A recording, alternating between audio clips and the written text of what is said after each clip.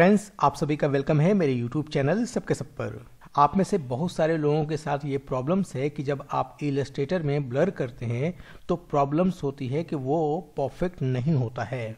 जिस तरह से आप लोगों ने फोटोशॉप में ब्लर करना सीखा था, उस तरह से अगर आप ब्लर करना चाहते हैं इलस्ट्रेटर में तो नहीं होता है। उसके लिए आपको क्या करना चाहिए? जैसे ये एक शेप है और इसे मैं ब्लर करना चाहता हूँ तो इफ़ेक्ट में जाऊँगा।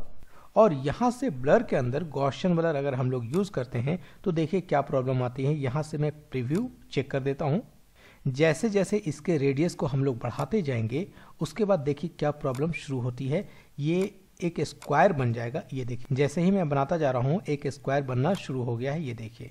यानी अगर मैं इसे और बढ़ा दूँ तो एक कंप्लीट स्क्वायर बन जाएगा, जबकि इसे ब्लर होना चाहिए, लेकिन ये एक स्क्वायर बन जा रहा है। तो इसे कैसे फिक्स करेंगे, उसके लिए हम लोगों को यहाँ से ओके करना चाहिए और उसके बाद दोबारा इफ़ेक्ट में चलेंगे तो यहाँ से ओके करते हैं। और अब दोबारा हम लोगों को इफ़ेक्ट में जाना है और इस पर इस थर्ड वाले ऑप्शन में आना है, यानी डॉक्यूमेंट रास्टर इफ़ेक्ट सेटिंग में इस पर आप क्लिक कर दीजिए।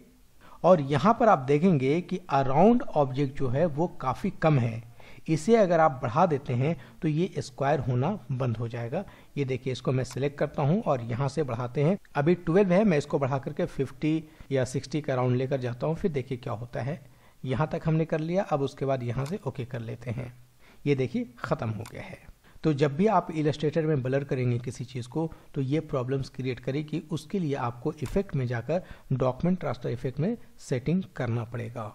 तो आई थिंक आप लोगों का जो डाउट था वो क्लियर हो गया होगा। अगर आप चाहते हैं इलस्ट्रेटर फोटोशॉप वगैरह कंप्लीट सीखना ग्राफिक डिज़ाइनिंग में कोर्स करना चाहते हैं तो आप सभी का वेलकम है। आप मेरे इंस्टीट्यूट में आइए, आकर एडमिशन ले सकते हैं। और अगर आप दिल्ली में नहीं रहते हैं तो मेरे प्रीमियम क्लास ज्वाइन करें, जो ऑनलाइन पर अवेलेबल है, और उसको ज्वाइन करके भी कोर्स कंप्लीट कर सकते हैं।